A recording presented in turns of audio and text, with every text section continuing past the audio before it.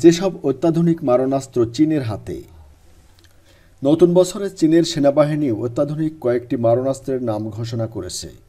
এর মধ্যে কয়েকটির সফল পরীক্ষাও তারা করেছে। এদিকে গত মঙ্গলবার এক প্রতিবেদনে যুক্তরাষ্ট্রের প্রতিরক্ষা গোয়েন্দা সংস্থা স্বীকার করে বলেছে, কিছু অস্ত্র প্রযুক্তিতে চীনই এখন বিশ্বের নেতৃত্বে। নতুন বছরে চীন বেশ কয়েকটি মারণাস্ত্র তৈরি করে। এগুলোর কয়েকটি হল, the mother of all bombs. যুক্তরাষ্ট্রের শক্তিশালী বোমা mother of all bombs MOAB এর জবাবে চীনও তৈরি করেছে শক্তিশালী বৃহদায়ন বোমা। এটির নাম দেওয়া হয়েছে মাদার অফ অল বম্ব নামে। চীনের বৃহৎ প্রতিরক্ষা প্রতিষ্ঠান নরিঙ্কো প্রথমবারের মতো চীনের সবচেয়ে বড় এই নন নিউক্লিয়ার বোমার প্রদর্শনী করেছে বলে জানায় চীনের গ্লোবাল টাইমস পত্রিকা। পত্রিকাটি জানায়, ব্যাপক বিধ্বংসী ক্ষমতার কারণে এটিকে মাদার অফ অল বম্বস এর চাইনিজ ভার্সন বলে অভিহিত করেছে। পরমাণু বোমার পর এটাই সবচেয়ে বিধ্বংসী বোমা। নরিঙ্কোর পোস্ট করা ভিডিওতে দেখা যায়, এইচকে যুদ্ধবিমান থেকে বোমাটি ফেলা হলে বিশাল আকারের বিস্ফোরণ ঘটে। সিনহুয়া জানায়, এটি প্রথম ধ্বংসাত্মক বোমা যা জনগণের সামনে উন্মুক্ত করা হয়েছে।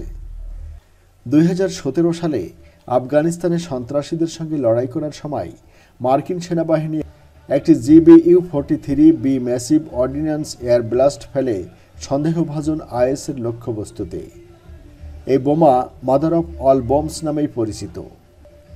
চীন তাদের বোমার জন্যও একই নাম ব্যবহার করলেও এটি যুক্তরাষ্ট্রের বোমাটির চেয়ে ছোট এবং হালকা।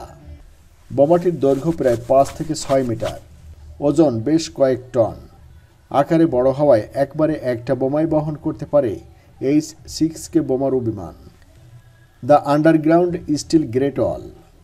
চীনের অজ্ঞাত পার্বত্য এলাকায় ভূগর্ভের নিচে স্থাপিত ইউএসজিডব্লিউ প্রতিরক্ষা স্থাপনা। এটি শত্রুর আক্রমণ থেকে সামরিক ঘাঁটি রক্ষা করবে বলে দাবি করে চীনের সেনাবাহিনী পিপলস লিবারেশন আর্মি।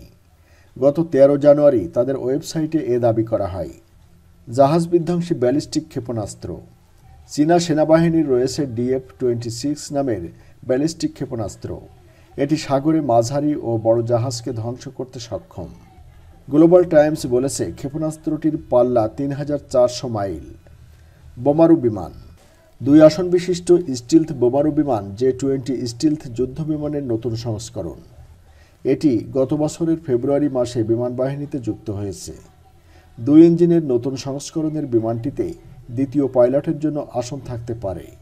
বর্তমানে যেসব স্টিলথ যুদ্ধ বিমান আছে, সেগুলো এক আসন বিশিষ্ট।